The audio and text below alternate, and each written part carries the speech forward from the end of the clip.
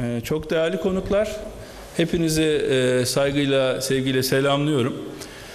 Öncelikli olarak e, büyük atılım gerçekleştirdiğimiz E-Devlet e, altyapılarımızda e, e-sağlığa ve mobil sağlığa verdiğimiz önemi bahsetmeden, arz etmeden önce bu hususlara temel bakış açımızın ne olduğundan birkaç cümleyle bilgi vermek isterim. Bizler elektronik devlet altyapılarını ve e-devlet yazılımlarını milli ekonomiye katkı sağlayacak uygulamalar olarak ele almaktayız.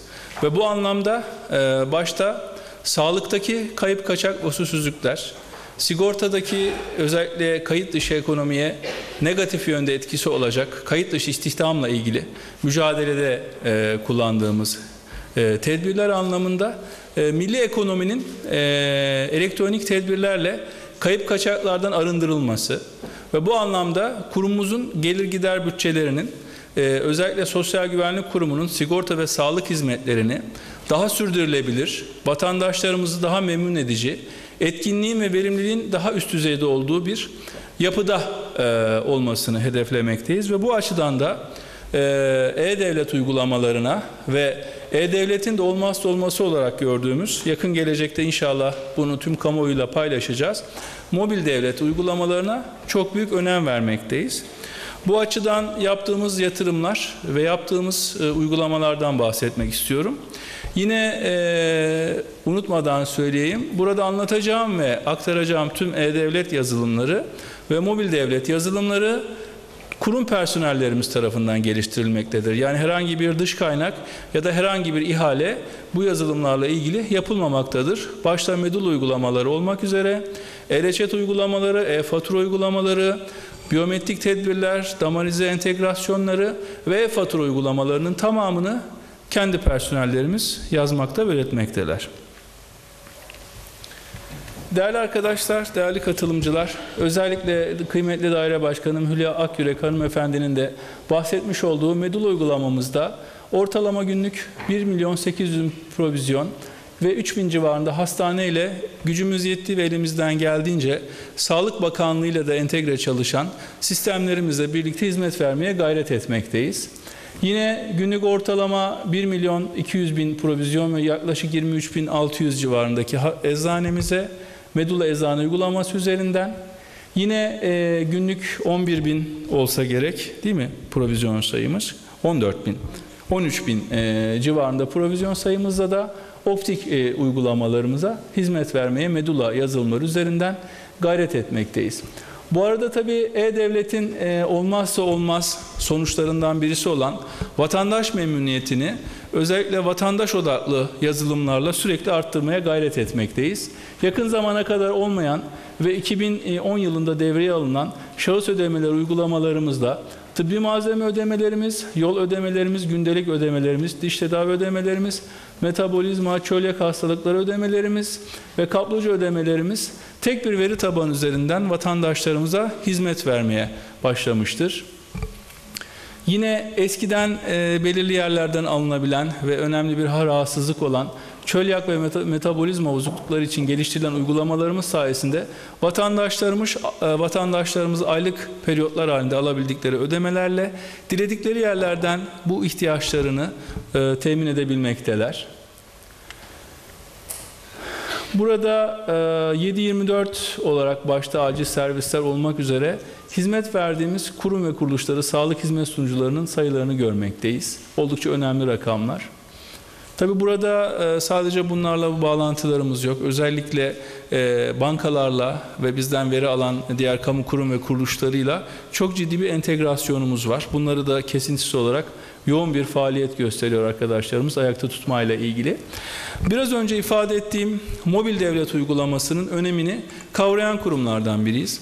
E, Türkiye'de e, değerli arkadaşlar e, son yapılan araştırmalarda ifade edildiği üzere belki bilginiz olmuştur. OECD ülkeleri arasında maalesef ülkemiz interneti en verimsiz kullanan ülke ilan edildi, seçildi. Dolayısıyla bunların sebepleri üzerinde durmakta büyük faydalar görüyorum. Ben neden interneti erişim anlamında, hız anlamında en iyi kullanan ülke olduk ama verimlilikte en sonuncu olduk. Bunun sebebi şu ben tabii ki sosyal medya ağlarına bir diyeceğim yok. Bunların faydası inkar edilmez. Kamusal platformlarda, sosyal platformlarda sağladığı faydalar inkar edilmez. Ama internete biraz da vatandaşlarımızın mobil devlet anlamında kullanmasıyla belki verimli kullanır hale geleceğiz. Yani e, insanlar elindeki cep telefonuyla mı internete daha rahat erişirler yoksa e, bilgisayarlarının başında mı daha rahat erişirler sorusunun elbette ki cevabı ellerindeki cep telefonlarıyla internete erişmeleri yani akıllı telefonlarla. Peki bunun önündeki engel nedir?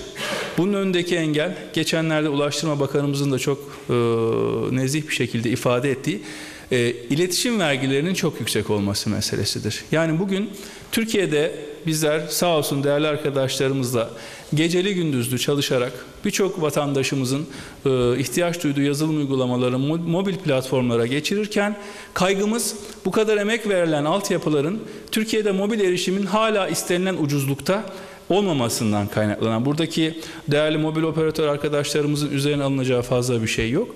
Türkiye'de mobil devletin geliştirilmesi mobil erişime erişimin yani mobil erişim sahipliğinin de biraz hızlanmasına bağlı. Biz bu bakımdan e, kararlılığımız ve duruşumuz şu şekilde tüm Türkiye'de mobil devlete geçiş yönünde inşallah öncü kurum olmayı hedefliyoruz ve buradan bu sözü de ben veriyorum ve ilan ediyorum ki TürkSat E-Devlet kapısı üzerinde gördüğünüz pek çok uygulamayı biz çok yakın zamanda Android marketlerden, iTunes'lardan inşallah indirilebilir. Herhangi bir ücret ödemeden de her türlü erişim cihazına mobil olarak e, ulaşabilir hale vatandaşlarımıza getirme sözünü veriyoruz.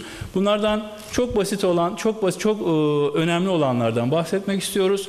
Özellikle özel sağlık sunucuları web uygulamamız, vatandaş bilgilendirme uygulamamız ve hekim bilgilendirme uygulamamız. Neler olacak buralarda?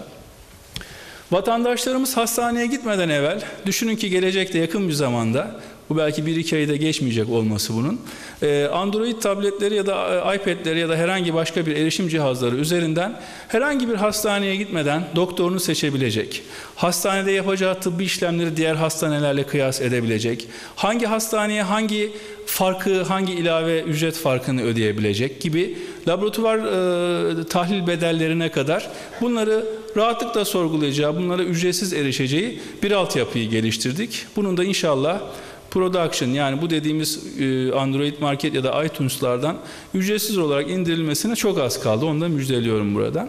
Yine diğer uygulamalarımızdan Hekim bilgilendirme ve vatandaş bilgilendirme uygulamamız inşallah mobil platforma ilk taşıyacağımız uygulamalarımızdan. Buralarda değerli arkadaşlarım ilaç kullanım sürelerinin görülmesi, muayene katılım payı bilgilerinin görülmesi, şahıs ödeme bilgilerinin görülmesi mümkün olabilecek. Yine sağlık hizmet sunucularından alınmış olan hizmetlere karşılık hangi işlemlerin yapıldığı ve kurumumuz tarafından kendileri için ne kadar ödeme yapıldığını şeffaf devlet ilkeleri gereğince vatandaşlarımıza bu uygulama üzerinden inşallah aktarmayı planlamaktayız. Yine değerli arkadaşlarım, tabiplerin belli periyotlarda görev yapan e, tabiplerin belli periyotlarla E-Devlet kapsamındaki yaptıkları işlemlerle ilgili olarak durumlarının görülebileceği uygulamanın da devreye alındığı müjdesini vereyim. Burada bu uygulama da yine Android e, ve iTunes'lar olmak üzere E-Devlet'ten bağımsız olarak tüm mobil platformlara da inşallah taşınmış olacak. Ee, Değerli arkadaşlar yine uygulamamız uygulamalarımızdan birisi Medulla Eczane Doktor uygulaması. Özellikle sağlık tesislerinde görevli hekimlerin hastalara ait son bir yılda kullanılan raporlu ilaçların, kullanım süresi dolmamış ilaçlarla kullanım süresi dolmamış raporların yine görüntülenebileceği bir e, web uygulamamız var. Burada doktor kimlik bilgileriyle kendisine bir kullanıcı oluşturuyor ve uygulamayı da kullanmalarını doktor arkadaşlarımın temin ediyoruz. Yine kritik uygulamalarımızdan kan bankası ve trafik kazası uygulamalarımızdan bahsetmek istiyorum. Özellikle bir dönem sigorta bilgi merkezlerine trafik kazası geçiren vatandaşların hastane, eczane ve şahıs ödemelerine ait fatura bilgilerinin e, entegrasyonunu yapamıyor idik. Şu anda bunu da tamamladık. Bu açıdan da herhangi bir sıkıntı kalmadı. Bunun bizim açımızdan önemi şu, yaklaşık yıllık bir buçuk katrilyon yani bugünkü parayla bir buçuk milyar liralık bir kaza bedelinin sigortalı e,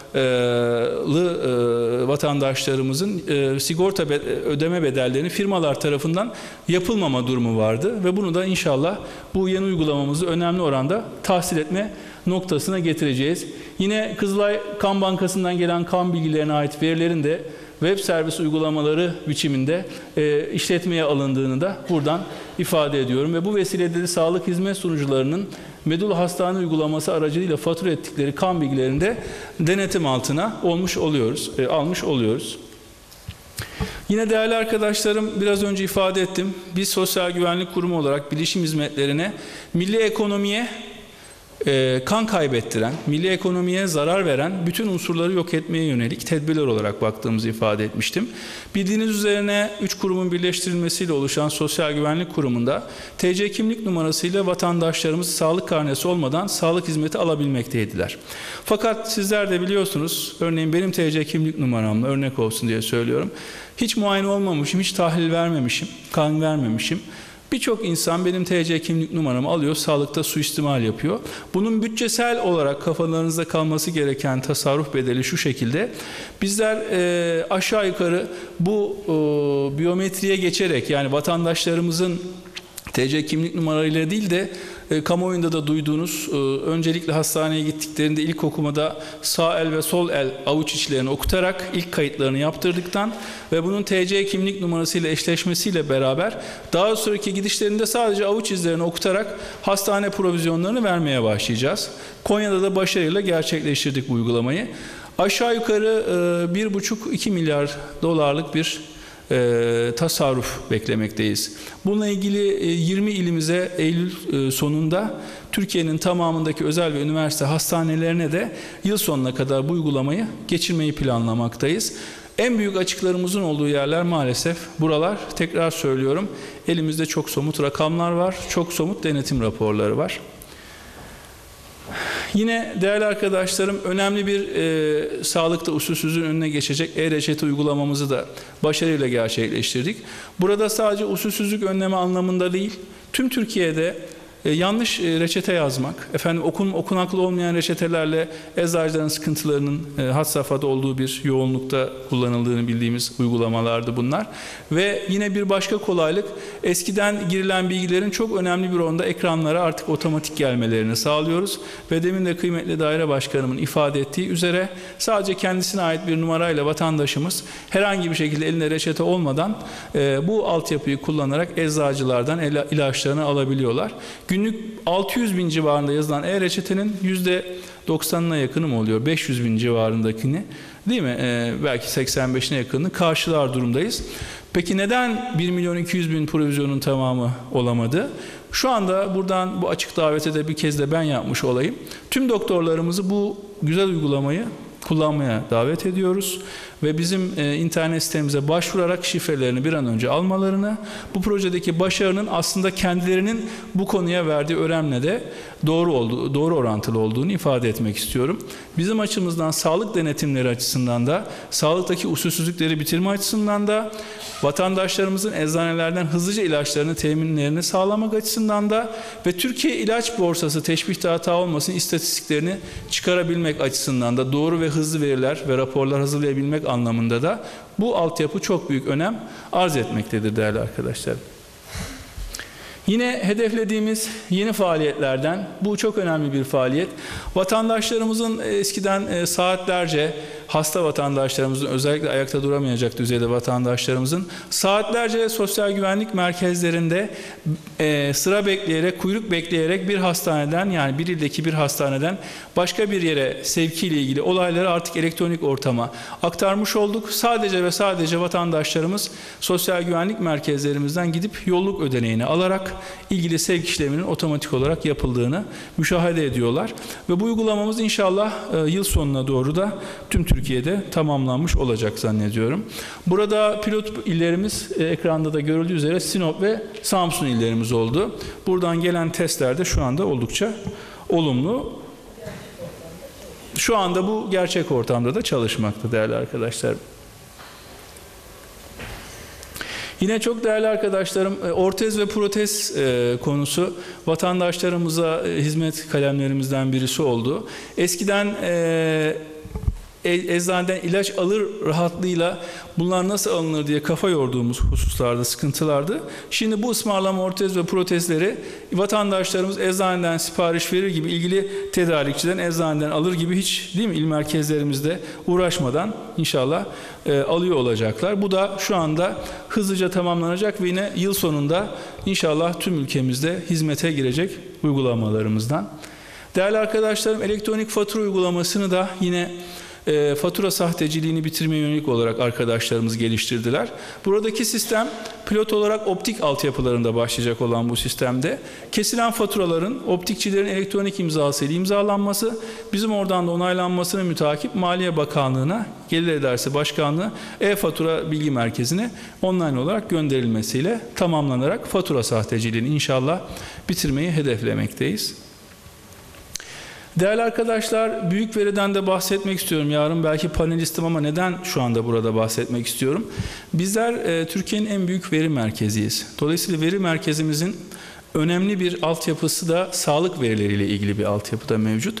Bilgilerinizin olması Sosyal Güvenlik Kurumu olarak bu konuya verdiğimiz önemin daha iyi anlaşılması anlamında. Vaktimiz ne kadar kaldı?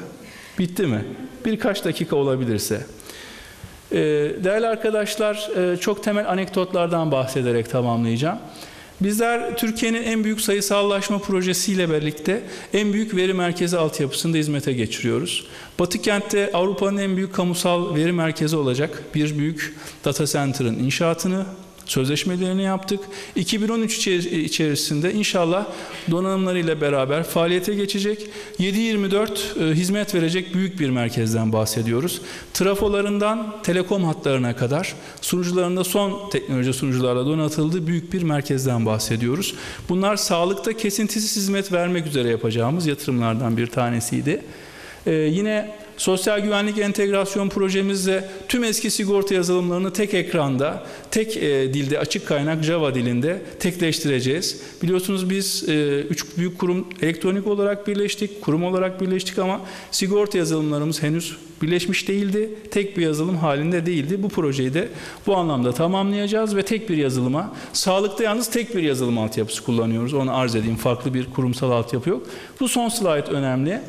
Bizlerin verilerimizin büyüklüğü anlamında e, sağlık verilerimizin şu anki büyüklüğü e, 8 terabayt, sigorta verilerimizin büyüklüğü e, 6 terabayt, internet portalımızın günlük tıklanma sayısı 25 milyon, internet portalımızın 1.2 milyon, sadece veri tabanlarımızın sıkıştırılmış log kaydı 300 GB ve her gün 80 milyon e, üzerinde yeni kayıt almaktayız ve sayısallaşmayı da planladığımız evrak sayımız 2,5 milyar evrak ve son olarak risk odaklı denetimlerde yani sağlık usulsüzlüklerini ve diğer kayıt dışı ekonomiyle ilgili kayıp kaçakları engellemeye yönelik oluşturduğumuz kayıp kaçak denetim elektronik bilgi sistemi altyapısında kullandığı veri 28 terabayt. Biz bu anlamda IT teknolojilerini milli ekonomiye büyük veri dediğimiz Big Data'ya da bu kayıp kaçakla ve usulsüzlükle mücadele büyük bir araç olarak baktığımızı ifade ederken hepinize saygı ve sevgilerimi tekrardan arz ediyorum.